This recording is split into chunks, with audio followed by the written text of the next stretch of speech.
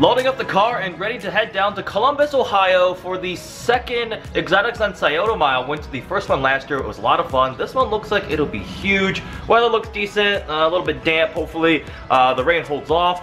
Loading up the i8, which uh, stretching the tiny cargo capacity. Back seats will be filled with things. Matt's coming along with the Shelby 350R. Thankfully he has tires of tread, so if it rains, he'll be okay. Have to make one quick pit stop at Michigan All Out. I'm gonna check out Seth and grab some, uh, I think we're getting some stickers from him. Looks like there's a Mustang there. Two Mustangs. Something I should have done a long time ago. Just a quick temporary thing for the trip down to Ohio. Just pulled into Toy Barn, which always has some really, really cool cars in inventory. They actually have a, uh, a blue i8 chilling over there. And then some other things inside. We'll walk around uh, and see what they have available here. They have a white Shelby R over there. Mm -hmm. That's that's nice. There's two of them. So here's that Performante. Wow, this looks. Oh, it's got. The, I like these wheels, the bronze wheels too. More fun toys.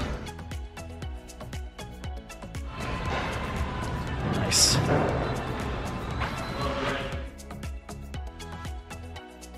a Verde Mantis Aventador S. That color I've only ever seen on a Huracan. It looks pretty good.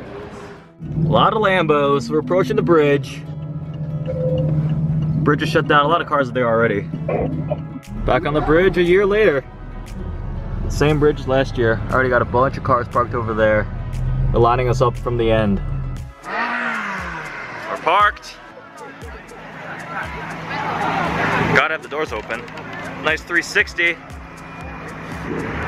Look at all the people here already. You're exercising your OCD and cleaning every inch of your car. He also installed these little side thingies so when you close the door you don't get fingerprints on the actual door so you do like and that. you have a white car you don't know yeah. Anything. I have a black car too. Yeah, but when it's detailed it looks the best. Yeah. I've been there. There's no denying that at. Lined up more. Alright, let's do one walk. We're at the very end. You see the cop car waiting right there. Casual 458 probably trying to figure out how to get in here and begin. Heritage GT. Heritage paint scheme.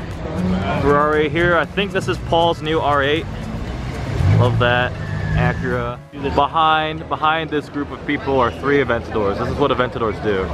They attract crowds. Chrome Aventadors. Chrome Aventadors, yeah. People like these. oh, that's a cool body kit. That's, is that the DMC kit, I think? The front splitter? I think it's a DMC front splitter. Chrome green. Photo op with my car. Woo!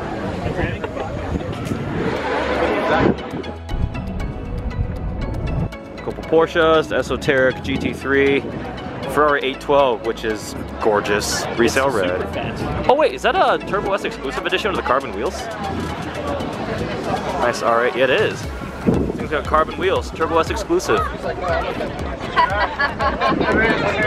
carbon stripes, another GT3. The Buyers, R8 uh, Spider Plus, 488 McLarens, no more. 650S, 720S, Performante, and an i8. They win. This Mercy sounded demonic coming up the bridge.